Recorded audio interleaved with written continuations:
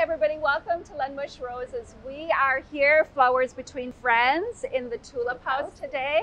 I'm Georgia Edgington, lead designer here at Len Busch. And I'm Kristin Thomas, I'm marketing coordinator here at Len Busch Roses. And it is, I feel like it's a little bit of Grand Central Station in here. It's a little busy today, but Yeah. that's we're working farm and we love it that way. Busier no, the better. absolutely. It is. It actually makes it kind of exciting. I mean, literally, we have growers walking through Yeah. the tulips right now, like pulling Yeah. out bulbs and looking at them, and people We- like Yes. processing tulips over there, cleaning, cleaning containers. Yeah. Yeah. absolutely. We love the whole process and Agreed. what better time uh, of, of year to do this but to talk tulips when the weather is so stinking gorgeous. Oh my gosh, I know. High of 67 today. yeah. I'm not wearing socks. I noticed that. I was going to call you on it, and I'm like, no, I won't. I I still have like my short little booties on. Yeah, but I couldn't wear socks today. When I heard 67 degrees, I had to pull out the spring gear. I just did. It's okay. So- you look very springy today. Thank you. I feel Yeah. very springy, and Yeah. you look very lavenderish and springy as yeah, well. a little bit like an Easter egg. on the softer side. Yep, you Yeah. look like a tie-dyed Easter egg, and I look like a floral garden as usual. as usual, exactly. But anyway, yes, welcome to our tulip house, and we're going to talk tulips today, obviously. So Yes. we wanted to inspire you a little bit. We've been in here before. We've talked to you about our actual tulip crop and some of our varieties. Yep. But today we just wanted to inspire you, maybe to Yep. do some fun pieces in your shops, Yes. or those of you who get to go and get some tulips at your local floral shop and are bringing them mm-hmm. home. Maybe we can inspire you to what In- to do with them when you they get home. inspirational pieces. That's all today is about inspiring the designers and inspiring the consumer with your flowers. Yeah, exactly. there you And go. just- here we're just having a little bit of fun. So You want to start with the one in the middle? Just yeah, let's so start. obvious? Let's start with this. Isn't it just flowers between friends? Look at this. Just the gorgeous white, simple, simple white. I like to look at um, tulips as a very versatile flower. Wouldn't you agree? Yes, it's absolutely. it's got a contemporary look. They stand alone by themselves perfectly. Yep. And the other thing is you mix them in and make absolutely beautiful gardens, make beautiful pieces.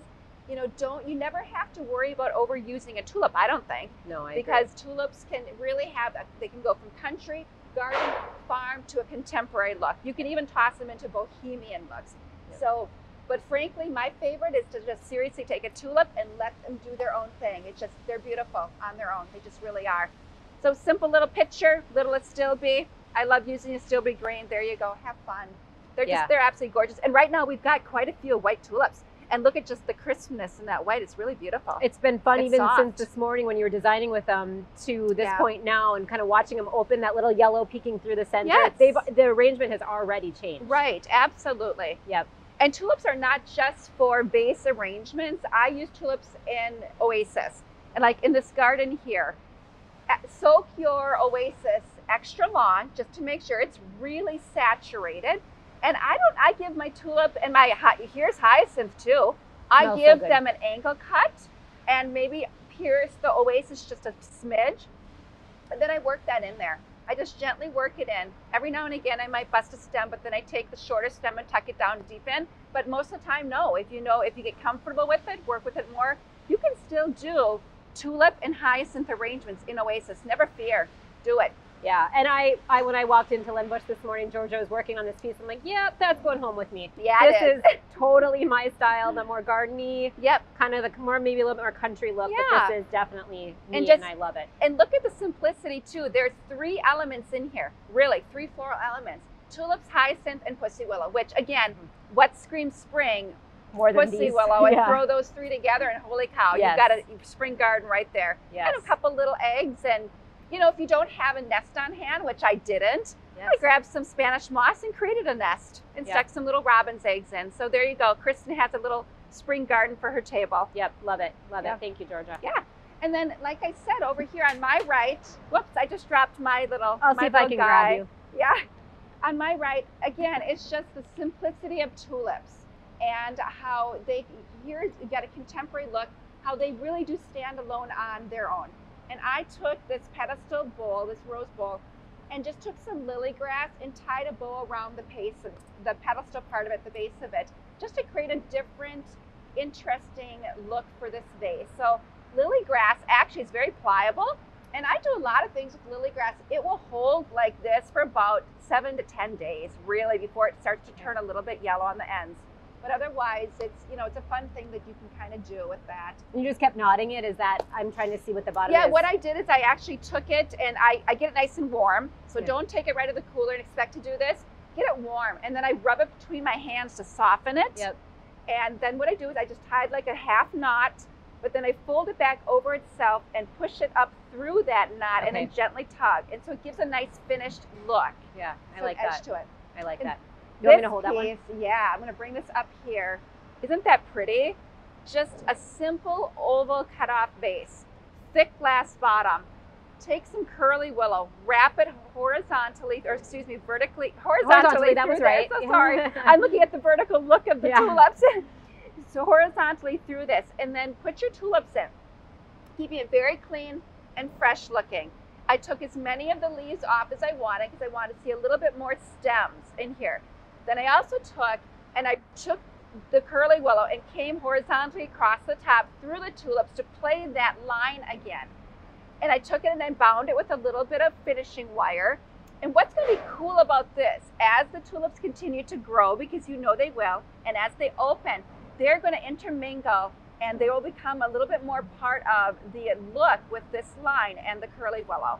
And it's really going to be cool in a couple of days. And I'm actually going to have Sarah watch this for a couple of days and take a couple pictures, and we'll post those on Yes. our page, our Facebook page, and our Instagram page. Yep. So that you can see how this is going to continue to morph and create its own look and integrate itself together. And it's going to be really beautiful. Now, Georgia, um, thinking about like if I had this at home and Yeah. it's time to um, maybe freshen the water or whatever, I would be really nervous about taking this apart. Is it okay to just add add a fresh little water, water. and not worry about doing fresh cuts on the bottom Yes. of all the stems? Yes, Okay. exactly. Okay. I would just uh, continue to add water to this. And this will Yeah. last a good week and a half. I'm going to say yes. Okay. Fresh tulips, good week and a half.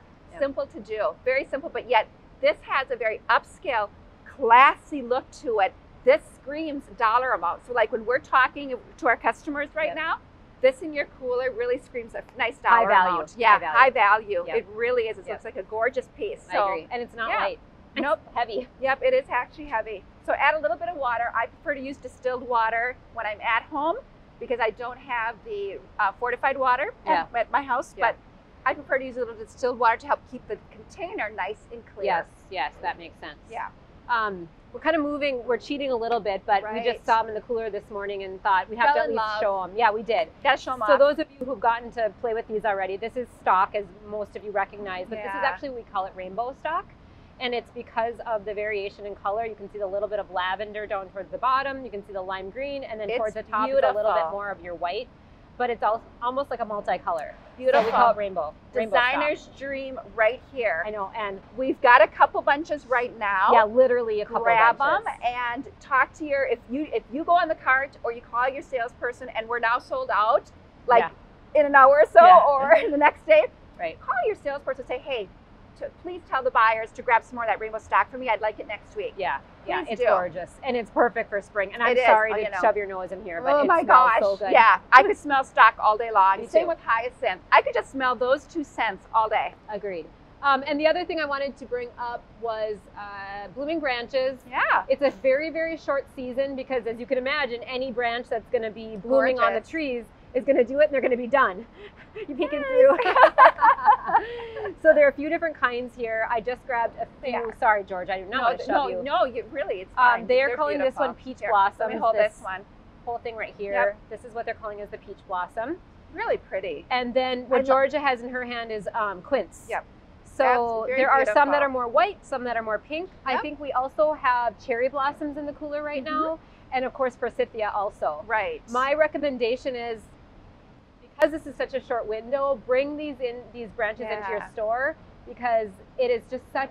I mean, to have something Yeah. live and growing in Oh. your homes, it's we need it this time of year. We Oh need gosh. the blossoms and the blooms. Yes. We just really do because then- that gives us that spring feel. It does. And really, right, when the blooms fallen off, then usually your leaves will start to sprout. Yes. And even that's Yes. like super exciting. Oh, it is. It Yeah. really is. Like curly willow. I put curly willow in my outside planters all the time. Yeah. And into May and in June when I'm Yeah. starting to switch to summer, the curly willow's blossoming, Starting and it's just really cool. leaves. Yeah, it's Yeah. greening out. I love so. Um, and I do, uh, for somebody who celebrates Easter, I actually always, Yes. every year, use my Yeah. blooming branches for my little Easter tree. So what I do is I take, I whether it's the quince or the peach, Yep. and I put these in a vase or a container with water, and then I do add a few artificial um, stems, blooming stems. So once these are done, if that's something else that's still Great blooming, idea. and I hang my little Easter ornaments on it, and that's Love part of our. Easter tradition, and it's it really I love that. is beautiful through the whole season. So, Right. anyway, just some ideas, some thoughts. You know what I like that I'm noticing here, Kristin, is just the difference in the brown branches versus the Oh, green true. branches. This Yep. is gorgeous. Yep. Just look at the difference Mixing in up the color. two. Yes, Yeah. I love it. Yeah, taking. So that's really kind of fun. Yeah, yeah, good call out. I didn't even notice that. I grabbed them as Yeah. they're blooming, but not thinking about the color of the Just actual beautiful. stems. Yeah. Sarah, coming close to this little blossom, isn't that just beautiful? Just so pretty. De- it's very delicate, gorgeous, delicate, petite. It's just it that screams just precious. yeah, yep, I love it. I love it. Yeah, very nice. There you go. But yeah, so we got a little bit of a bloomage and tulip here and springtime. it's spring. Today's spring. Next week, I'm We not worrying about the 30 degree weather. Yeah. Today, I'm focusing on the 60s. Yes, absolutely. Yes. We have spring fever this week. we do. All right. Have a, hopefully, you have a Yeah. great week this week, and we'll see you next week. Happy spring, everyone. Take care.